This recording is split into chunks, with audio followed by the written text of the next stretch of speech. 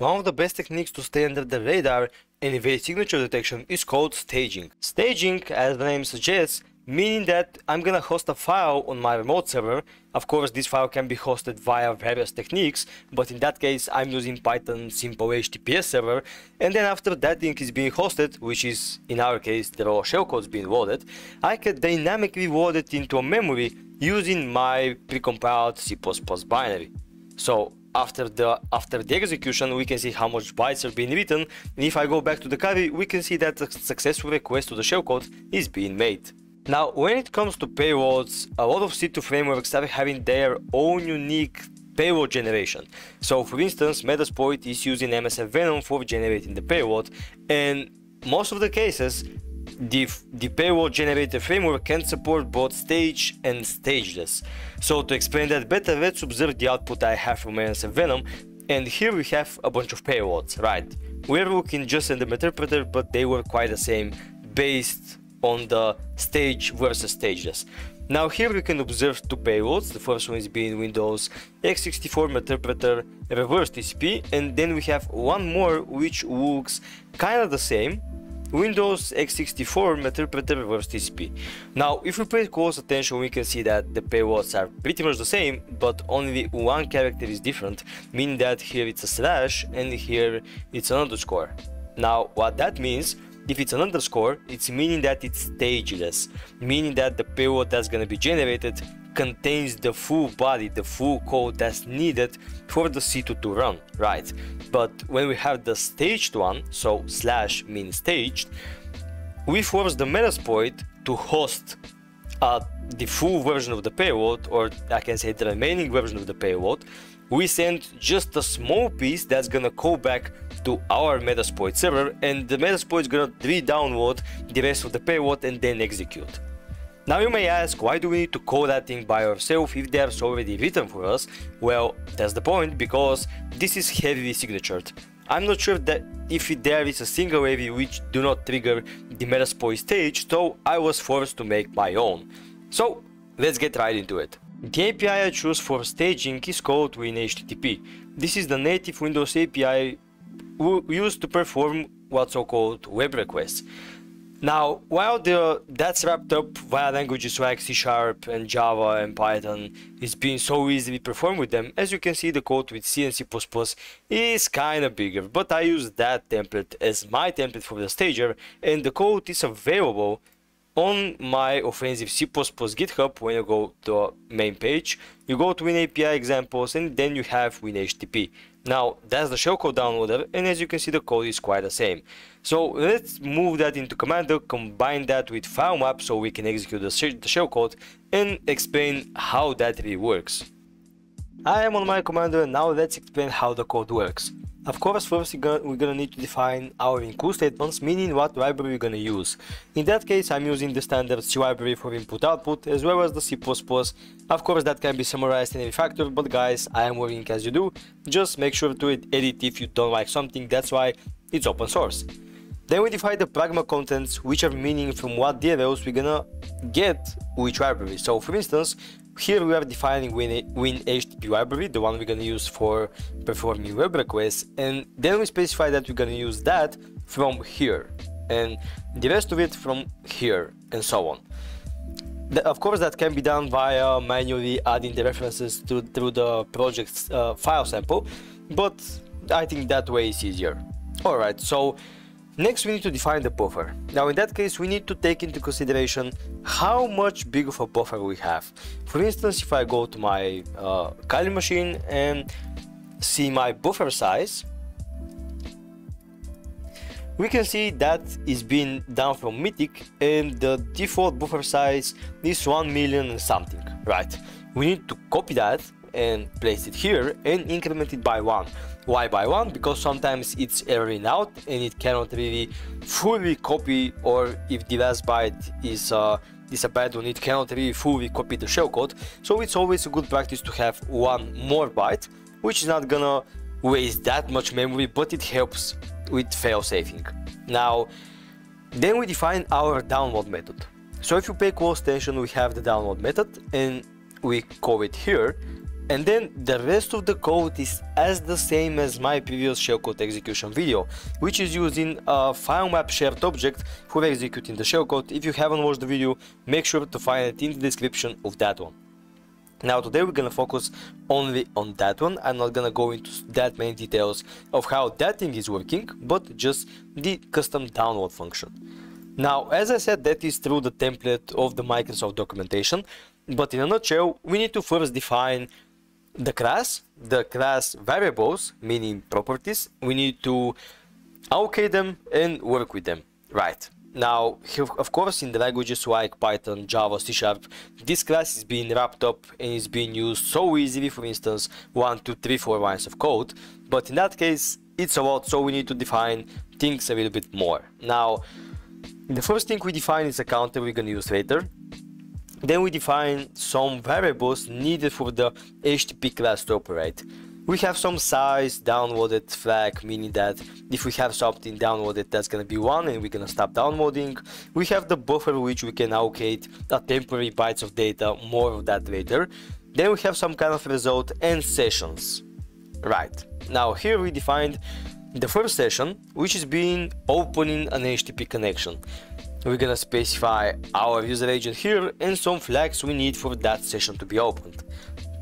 Of course, we define, we check if the session has been successfully opened and if this, we move on. Now in that case, we define flags. This is huge because during the demo you're gonna see, I'm using what's so-called self-signed certificates, certificates that I created and I signed, and by definition they are not being accepted. So that's the simulate simulating if you navigate to a similar web browser or page via the web browser, you need to go advanced and accept the certificate, right? That's the same thing. We accept the certificate with the code by using these flags here. They are super important. The next step we do is actually define where and what our request would look like. In that case, we're gonna do open HTTP request. We're gonna use the session we have previously, and then we're gonna specify the method we're gonna use, the file path we're gonna use, the HTTP version, and additionally some flags for connecting over SSL. Nice. Of course, we, check, we check if that's the case and if we can successfully open a connection. If that's the case, we continue. If not, we exit. Now, so far, up until that point, up until that point, we are just defining some kind of simple variables and try to open session. Now here we send the very, the very simple single initial request. Now this is important because based on that we can either choose what to work upon and if not. So in that case we send the request of course again check if that's successful or not and if this we move on. And now here is the magic. Now if we have a result meaning that our request is being successful and that result is just a flag saying that if the request being successful or not. If that's the case, we enter in one huge do while loop. What that do while loop is doing and while it's looping is until the DW size is bigger than zero. How that can be bigger than zero? Well, pretty much from the first statement, meaning that do we have more data available for reading? If that's the case, then the DW size is gonna get to 1 and then boom, we have exiting the loop. That's the meaning of that statement here and that API call with HTTP query data available. Right. But if it's not, so we have more data to read, we define a buffer. That buffer we define to be the size of the DW size plus 1, so meaning 1 in that case. And then, of course, we perform some kind of check and now we start to read the data. Now, here we zero out the memory of the buffer, we read the data from the request into the buffer and to from the, uh, using the buffer from that downloaded size here. Now that is again zero but it's gonna be constantly initiated during the loop again we have some check for data corruption and something going on against the network. If that's not the case we just move on. And now here is where the magic comes from. So if all the checks from here are successful we enter this else statement here now this else statements is using one additional while loop for that. And what that while loop is doing is utilizing the counter we defined just in the beginning here. Now what that counter is do is gonna count the size of bytes we currently allocated and you may ask why and I can answer because the, the, the most bytes we can allocate or read via one single request is being no more than 1192 bytes. This one here. So for instance if you have a shellcode that's been like 1000 bytes you can read it on one tick. So you don't need to iterate over anything but in case you have a bigger shellcode for instance ours is like a million or something we need to be careful with that and we need to whoop and download 8000 bytes 8000 bytes 8000 bytes until we reach the end of the array now that's the point here, that's the point of these if statements, it's gonna see if our counter is bigger than the size of the buffer and then it's gonna terminate the loop. But if that's not the case, meaning that we have still to download, we're gonna mem copy, meaning that, meaning that we're gonna copy the bytes from the downloaded buffer into our defined buffer designed for the shellcode. In that case, I'm using size of char because it's really one byte. You can use byte here, it should not make a difference, but I use char. Right. I have simple debug statement we're gonna use later on to see visually what's been downloaded and some kind of stats about the counter, the buffers and so on. But, but forget about that for now. Then we just increment the counter and increment the i. Alright. Now, that's the whole point here is being resetted here, it's being incremented here, it's being whooped while is less than the w size. So we are pretty much what we're doing is we are allocating one character at a time on the array, so we download one character at a time and fulfilling the our shellcode array. Right. Now we free the memory so we can continue with the looping and we start all over again. I know that can sound a little bit complicated guys, but trust me, it's not that bad. So in order to prove that, I'm gonna uh, uncomment that uh, debug statement, I'm gonna recompile, make sure my web server is up and running, which is not. And here, what happened now? Oh yeah, it's still under execution. And now, if I run the binary, we can see the the current version of i, so what number is there, the DW size, which is 18192, which is the highest possible bytes we can read from one request. Then we have the counter, then we have what character is being read and what character is being written. So we can see they're quite the same. Nice. So with that being said, that's our, our stage function, as you can call it. We whoop through these whoops until we have any more data to read. That worked with a lot of payloads like Sweaver, Metasploit, uh, Mythic. So, so far I didn't see any C2 framework that is not supported or have some kind of problems with that stager. Right. Now that's all about the DL function. As I said, this is from the our previous video, the very same code. But in a nutshell, what that is doing is just doing uh, creating a shared file object which is called file map and that file map can be a shared object between multiple processes, threads and so on, but that's way too deep, not gonna dive into that deep uh, data here. But apparently that's a way for our shellcode to get executed. So the first way here, the first thing we do is just downloading the shellcode remotely by whooping until we have data to read. And on the second part, we just execute it via file map. Now let's set up everything up and showcase how that really works. In my case I have Mythic C2, I'm a huge fan of Mythic and I'm gonna continue using Mythic. So I set up to using HTTPS connection that is being performed simple. If you go over Mythic C2, C2 profiles, HTTP C2 code, we can see a file called config.json. Now if I cat that config.json, feel free to copy my config file guys. We just need to define the port here and we define the keypad and the subpad now just uh, perform or create a OpenSSL self-signing certificate using the key and you're good to go. Right. If you encounter some kind of error remove key dot, the original key.pem with k.pem and the, the Mythic is gonna create its own key file right if you if you encounter any error or just hit me up on discord i can troubleshoot with that. Now after that's been done and restarted we have a mythic c2 running. If you don't know how to install mythic or this type of agents i have a video about that as well. Make sure to find it in the description of that video.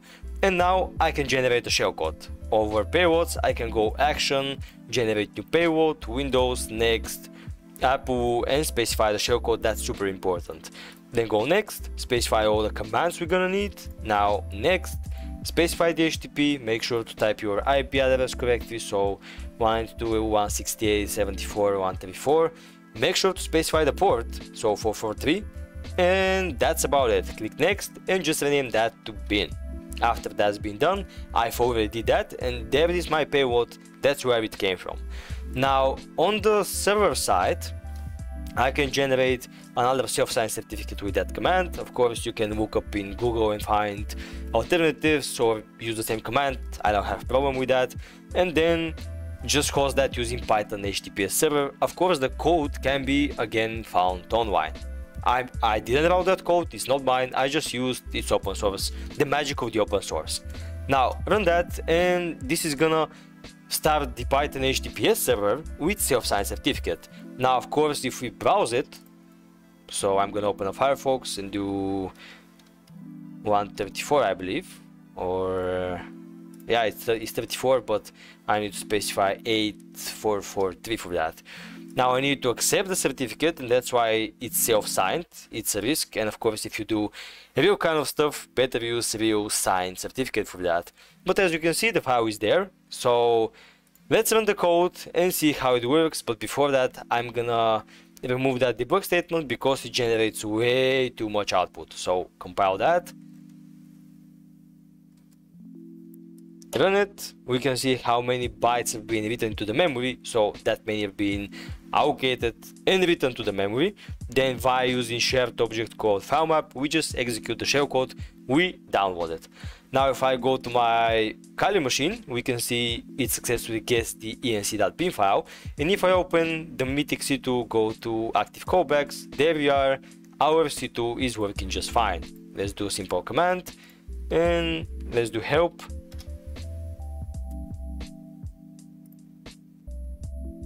And let's try for instance something very very simple.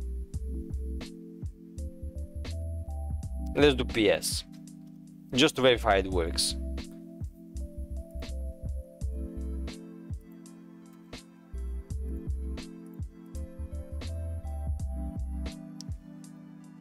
Alright, there we are. These are the processes we have on the machine. So, that's how the staging works in a nutshell. Now let's get to the fun part and test it over some anti-scamming vendors. So let's open up the commando again, go to anti-scan me, let's hope the API works now. Now go to desktop, now offensive C++, navigate to the binary, upload that and we can expect really super low detection rate because there is no shellcode available on the binary itself. Now, a huge disclaimer, even though we see zero here, that do not really mean that we have no detection at all, but that means that we have no signature detection at all, which by itself is super huge and super success. So uh, stay tuned for more, join my Discord to share knowledge and experience, and have fun guys!